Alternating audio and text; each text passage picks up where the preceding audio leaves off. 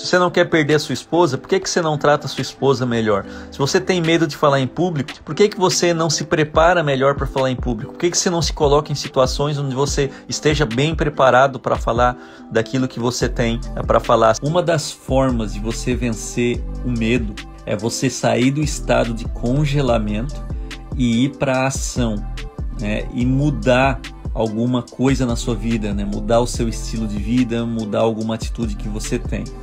Vou dar um exemplo para você.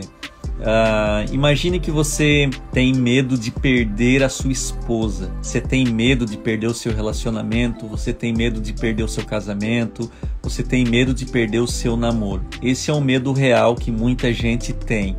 Né? Ah, Ramon, eu tenho medo de perder a minha esposa. Beleza. Qual é um dos caminhos mais efetivos para você esmagar esse medo, para você deixar de sentir esse medo?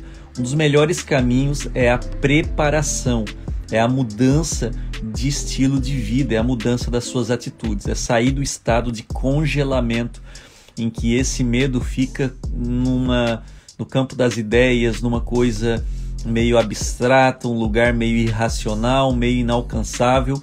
Se você, por exemplo, tem medo de perder a esposa, tem medo de perder o seu marido, por que, que você não trata o seu marido melhor? Por que, que você não trata a sua esposa melhor do que você está tratando atualmente? Isso seria uma estratégia que te tiraria dessa zona de congelamento. É você tomar uma ação, por menor que seja alguma ação, você tem que sair do lugar que você está. Se você tem medo de perder a sua esposa, por que, que você não toma uma atitude, mesmo que pequena, em prol de encarar esse medo e mudar alguma atitude que você tem em relação a ela. Tem gente aqui que tem medo de ficar doente, tá? Tem medo de doença, de ficar doente, de pegar alguma doença. O coronavírus está aí para deixar isso mais evidente. E como que eu posso perder o medo?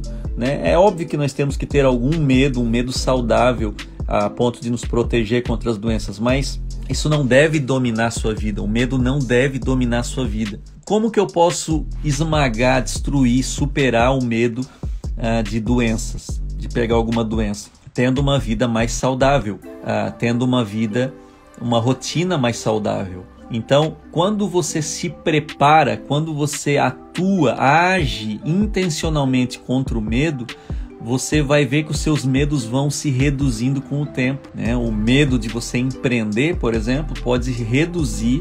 O medo de você falir a sua empresa, de você é, não ter uma vida profissional é, adequada que você deseja pode ser reduzido, pode ser enfraquecido com preparação para empreender, com estudo, com conversa com pessoas mais experientes.